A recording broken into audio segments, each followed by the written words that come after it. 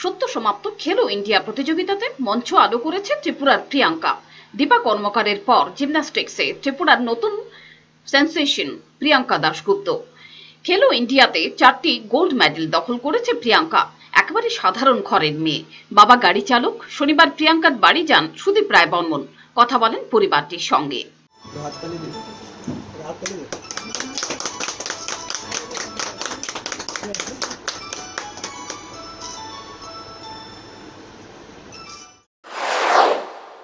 দেখুন, আমাদের এই গুয়াহাটিতে নয় এবং দশ তারিখে জানুয়ারি মাসের যে খেলো ইন্ডিয়া প্রতিযোগিতা হয়েছে, আমাদের রাজ্যের প্রতিভা সম্পন্ন মেয়ে আমাদের জিমনাস্ট প্রিয়াঙ্কা দাসগুপ্তা ও চারটা গোল্ড মেডেল পেয়েছে বিভিন্ন ইভেন্টে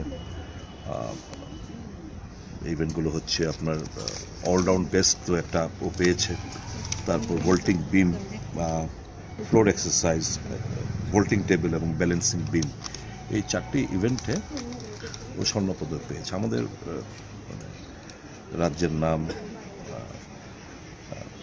সারা দেশের কাছে সম্মানের সাথে ও রচিত করেছে তার খেলার মাধ্যমে।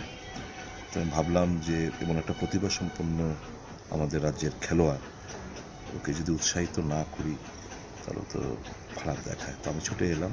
কালকেও ভোরবেলা এসছে কালকে আসার ইচ্ছে ছিল, কিন্তু কালকে আমাদের বিধানসভা থাকার প্রেক্ষিতে আমি আসতে পারিনি।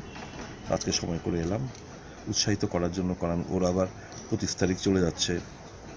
উনত্রিশ তারিখ থেকে আবার ন্যাশনাল মিট শুরু হবে। আবার ওখানে প্রতিযোগিতা করবে। শুভেচ্ছা, আগাম শুভেচ্ছা জানাতে এসেছি। এবং সামনে ওর মাধ্যমিক বোর্ড পরীক্ষাও রয়েছে। তো কম্প্রোমাইজ করতে হচ্ছে। পড়াশোনাটা তো ব্যাঘাত ঘটছেই।